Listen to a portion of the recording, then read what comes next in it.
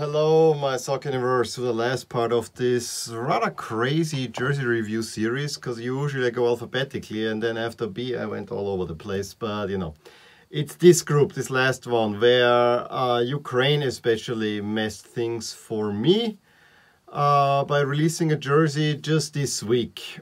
And yeah, it caused a lot of stir, and we'll talk about that one, sure for sure. Uh, it was also not an easy decision for me what jersey to wear. Um, Ukraine is in the thumbnail because they're the top team in, the, in this group, so it had to be one of the other three. I decided to again open the Netherlands 2008 limited edition jersey back there, and that was between my home country Austria and North Macedonia. Spoiler alert, I won't be really supporting Austria these Euros, and I'll give you more on that in my um, pre Euro preview, grand preview video that I'm gonna post uh, on Friday. I might actually do two, uh, one a general preview and one with my prediction or make one big video. I have not decided yet, but you know, there will be something coming for that. And so it's North Macedonia. It's anyway a nice jersey. And I asked my women in the house and they all three decided, yeah, take the one with the sun rays. So there it is. I'm actually really happy to have this one. So yeah, as I said, let's start with Ukraine. And I'm gonna give you also the jersey that we will not see, that was that actually should have been worn, which is this really nice offering by Joma. Uh, and I have to say, uh, off the bat, uh, Joma has done some outstanding work for the Eastern European teams that they have under contract. Uh, there is no doubt in my mind about that, that they really, really, really are trying to make a splash there. And I'm, I'm very happy, especially for Bulgaria. I think every single home jersey that I've seen from Bulgaria for, for, for Bulgaria had something really nice about it. Um, maybe not everyone exactly what I'm looking for, but they always went for traditional looks. For Ukraine, they went a little bit more in the adventurous way, and you can see this here with this very interesting collar, and then a pattern where you uh, you know you have the Ukrainian crown and then some other uh, pieces in in there. But I think it was a nice Ukraine jersey um, that I have no problem giving seven stars. And the away jersey is just flipping around the colors, but you can see actually the pattern uh, a little bit better. Uh, and so yeah, also I, I actually uh, what what I also like here, or is not it, I think it's the other way around. Uh, Ukraine has blue on top and then yellow on bottom, so uh, it's not the flag that you see there better. Yeah, my bad. But I I don't exactly know what the pa pattern is, but it looks interesting, and I think it's also a nice jersey. I'm willing to give seven stars. So these are the old jerseys, not much talk about. So the newly released, highly contentious jersey, at least in some circles is this new home jersey.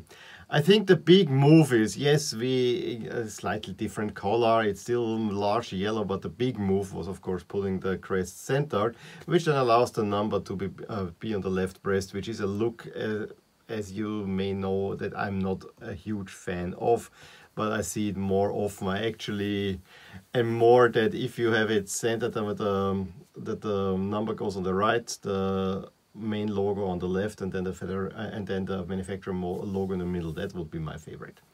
However, the big feature on this one that caused so much stir is the outline of the country on there. And why did it cause stir? Because Crimea is on there, as are some um, eastern Ukrainian pro-provinces that are under separate control from Russia. Crimea is, of course, completely annexed by Ru Russia, but the international community, of course, gives it to Ukraine.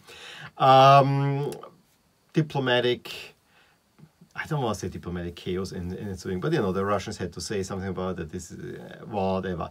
I don't want to take sides. I actually think it is all right to put a jersey uh, with the international recognized borders out. That's at least my opinion. Uh, I know that they wanted to make a bang there because they also put all kinds of slogans that were uh, in those freedom movements, uh, you know, in those times when the annexation then came were um, used. So yeah, it was a rather, rather bold move. But the jersey overall uh, is not a bad one, but I have to say I actually like the previous iteration a bit more. I give it six stars. I thought that the cultural pattern was a better accent than the country outline. And then they went the same route as um, previously. They just flip around the colors. So we have the same one with in blue. You see the country outline here even a little bit better. And there is a very, very fine print in there as, as well, which is up close really interesting to look at. Uh, the only thing I think that stayed large, large the same is the color uh, and the sleeve cuffs as far as I can tell they yeah they remained the same. But uh, as on the home jersey.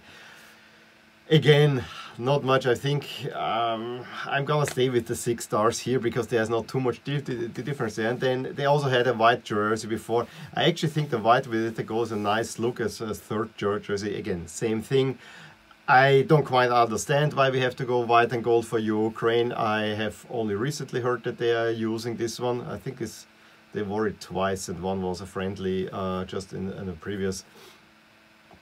Again, it's a nice look. I can see the gold has to do with the yellow of Ukraine. Okay, maybe some, something like that. Maybe there's a little bit more behind it. I don't see a reason to differentiate it from the others. Also, six stars which then moves from the team that is the seeded team to the home team because the Netherlands can play all their games at home. And Nike really likes the Netherlands uh, orange with black. We had it on the previous iteration for 18, 19 and now we get it again. Um, with one big twist of course which is this huge print with the lion's head on there. And I have to say, uh, you know, geometric print, you're immediately thinking Netherlands 1988. It's not quite that. Uh, I always like animal prints on there. Uh, recall the Czech Republic home jersey from 1819, which I really liked. This one, I am not so sure about it. I think they could have done it a little bit bolder. Also, as you know, orange and with black is not my favorite. I wish there was a little bit more white on it. And I really wish that uh, the Dutch Federation would go back to use a little bit more white on the jersey. I have a feeling the next one will be again one with white. I also would like to have a blue away jer uh, jer jersey with orange again, but you know, we'll see about that. So yeah, I have to say, uh, initially I was really excited because from my African jersey, you know I love animals on my jerseys for, for the Dutch team, uh, some something's not quite right, honestly. For that reason, leaves me lukewarm. And also on TV, the orange looks a little bit off, to, to be honest. That's the other thing. Uh, it, it, it should maybe be uh, looking darker, but it, it, it really isn't. It is, it's a little bit of washed out color. Uh, name and numbering style, yeah, off center 9 again. Uh, it the numbers are again of this style that they used, I think, from 2006 to 2012, like the digital clock style. Six stars. I mean, I see what you're trying there. I would not, I mean, if I by some way I get this jersey, I definitely would not mind having it. It's not one that I say it's ugly but it leaves me kind of lukewarm. The away jersey I find a whole lot more interesting uh, because it actually looks like a really nice jersey. The black with the polo collar uh, and then the orange lion, that looks really, really nice. I do not like the flashes on, on the side. My problem is uh, I already have a black away jersey from the Netherlands, uh, which is of course a 2012 one. Uh, so I don't necessarily see an immediate need for this one, although the crest on that one is of course a whole lot nicer than uh, than the 20 the, the 2012 one. I as said I really would like to have a dark blue one with a little bit orange accents. That would be my uh, what I'll be looking for. But yeah, uh, other than that, I really like this business casual look that it has with the. This is especially the color. This is what I like to see on a soccer jersey. I really love colors like this. Um, and uh, even with the orange numbers, I, I, I, think that it looks really, really, really nice. I'm gonna give this eight stars uh, because the overall look is pleasing. It's again not spectacular, but the overall look to me is very pleasing. For that reason, I think uh, it fully deserves the high rating. Moving on to my home country. Um, I spent, I think, at least a video already ranting about it. All of the Austria jerseys are marked by this horrible, new, they call it commercial logo with an eagle that I call the spider because I do not, I, I think my daughters could have drawn a better eagle. Uh, especially when you see old jerseys where they really have had the, the you know the one from the coat of arms and, and so on. I actually have an also, also Austrian flag here. Uh, on the presidential flag there was always this eagle. That's what I want to see on a jersey we, on top of an Austrian flag, uh, kind of. But you know, at least the shield is something that is there. I think on a red jersey, a white shield with the eagle on, that's good. But this new commercial logo, I don't like it. I don't like the interpretation of it. And then on top, they put this soccer ball in there that just looks completely out of place. Uh, and you know, I hate if they put the 1970 uh, ball in there because I really do. This is so um, clip art, unimaginative, unimaginative. Yeah, we're a soccer federation. Boom. No. And you know, I would maybe even right make a completely new logo and go the Hungary Slovakia route uh, by using a national symbol. Keep that one and then put in addition uh, your logo. But you know, in this case, it wouldn't make much sense. I hate this logo with a vengeance. Having said that, the new look for the Austria shirt, it is really crafted by culture in a way that it tries to replicate the look of these classic traditional vested shirts that uh, we have, um, you know, traditional clothing in a way. And it really pulls off that look especially when this is worn with black pants which can kind of re replicate the lederhosen in a way. With white pants it looks more austria but in black pants the look is better. So you have kind of the undershirt which is in white and then you have the vest over. That actually looks really nice and interesting and if it wasn't for the spider on there I actually would like this jersey a whole lot. Uh, it took me a while, while to get, get used to but I really do like it.